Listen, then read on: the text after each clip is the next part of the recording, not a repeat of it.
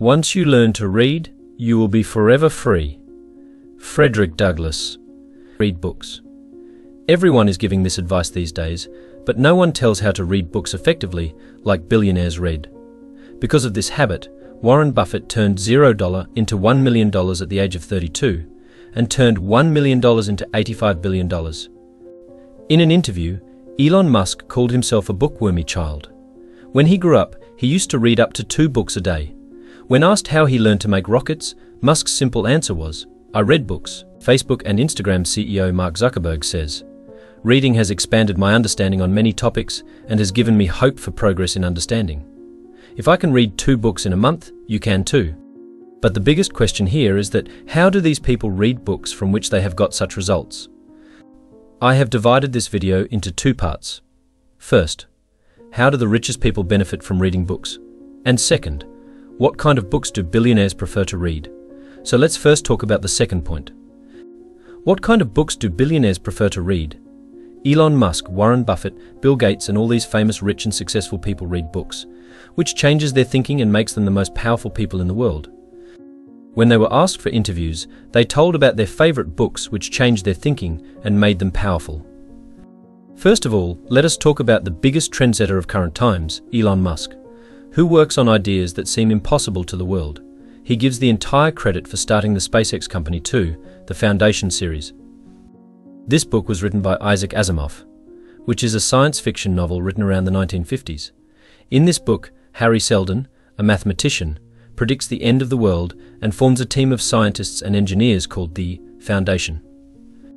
In an interview with Guardian in 2013, Musk said that if a catastrophic day ever comes in the world, then we should keep another world ready where we can transfer the people here and save humans from extinction. This book inspired Musk and he named his company SpaceX. Twitter co-founder and CEO Jack Dorsey credits the book The Art of Speed for his success. This book was written by Robert Henri, and in it he has written about the best artists of America. Dorsey learned from this book how the creative mind works. While giving a speech at a startup event in 2013, Dorsey said that in Silicon Valley any person can make his company successful by following in the footsteps of another company. But to create a different company like Twitter, it is important to think out of the box. Silicon Valley is a place in California America, where there are lakhs of IT companies ranging from big companies like Apple and Google to small companies. At number 4 is Warren Buffett. When Buffett was 11 years old, his father had an investing shop where he used to invest people's money. Then Buffett's interest in investing started increasing. At the age of 19, he got the book The Intelligent Investor, written by Benjamin Graham. This book is called The Bible of Stock Market and the philosophy of value investing is explained in it. Buffett learned investing by reading this book and said in an interview with Fortune magazine that this book changed my life. If I had not read this book, I would still be delivering newspapers to people's homes. At last comes Mark Zuckerberg. After 2015, Zuckerberg took a challenge that he would read two books in a month and do it for a year.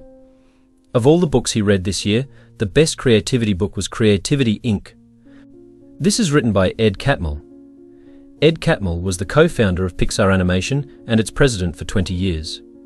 Zuckerberg said that this book inspires him so much that he had Done is better than perfect, written on the wall of his California headquarters.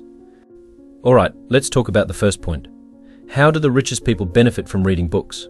First, they make time. Billionaires make time for reading because they know it's crucial for success. Take Bill Gates, for example. He reads 50 books a year. For him, Reading is as important as any business meeting. He blocks out time in his schedule every day to read, without fail. This habit isn't just for relaxation, it's a way to keep learning and growing. If you want to improve your life, you can start by dedicating 30 minutes each day to reading. Pro tip choose a quiet and clean place and keep every distraction away from yourself while reading a book. Think of it as an investment in yourself. Whether it's a paperback, an e-book, or an audiobook, the format doesn't matter. What's important is making it a consistent habit. Just like brushing your teeth or exercising, reading should be part of your daily routine. By setting aside this time, you open yourself up to new ideas and perspectives. Over time, these small, daily sessions can significantly boost your knowledge and wisdom. You'll be building your own mental wealth, just like a billionaire. So, start today. Block out 30 minutes each day for reading and watch how it transforms your life. They take notes. This is what Bill Gates says. When you're reading, you should make sure you're taking notes in the margins and really concentrating. Especially if it's a non-fiction book. You have to combine new knowledge with what you already know, and taking notes helps me make sure that I am really thinking carefully about the things that are in the book. Successful people regularly take notes to remember important information better. Whether using a notebook or an app, they jot down key points while learning or reading. This habit helps them track what they've learned and reinforces their understanding by reviewing notes. It's like building a solid knowledge base they can rely on. Taking notes also helps them organize thoughts and understand complex information. By summarizing key points, they break down large amounts of information into manageable pieces. This makes it easier to grasp and apply concepts later on, whether from books, videos, or lectures. Overall, note-taking is a valuable strategy for successful people to enhance learning and maintain clarity in their knowledge. They focus on learning. When billionaires like Warren Buffett pick up a book, it's not just for entertainment. It's all about learning and staying sharp.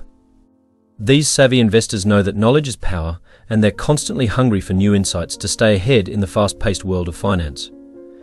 Buffett, for example, dives into financial reports and business books religiously, soaking up every detail to make informed decisions that shape his investments. For those looking to level up their own knowledge game, the key takeaway is simple. Choose books that add real value to your skills and understanding. Think of it like building blocks for your brain. You want books that teach you something new and practical. Whether it's learning about personal finance, mastering negotiation skills, or diving into the latest trends in technology and entrepreneurship, each book you read should contribute to your growth. By focusing on books that add value, you're not just filling up shelf space, you're investing in yourself. This isn't about speed reading through a library. It's about picking books that resonate with your goals and interests. Just like Buffett scans through financial reports to find nuggets of wisdom, you can choose books that help you navigate your career, improve your financial literacy, or even inspire new ideas for business ventures. So next time you're browsing for a good read, think about what you want to learn and how it can help you succeed. Whether it's one book a month or a dozen a year, each page turned is a step towards building a smarter, more informed you.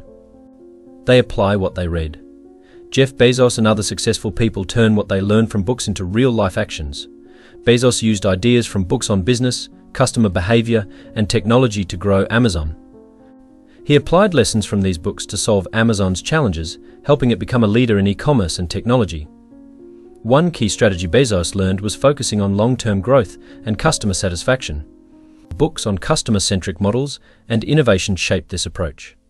Leadership and innovation books also influenced Amazon's culture and its drive for improvement and invention. To use book knowledge in your life, start by finding lessons that match your goals. Whether it's about time management, leadership, or personal finance, the next step is to put these lessons into practice.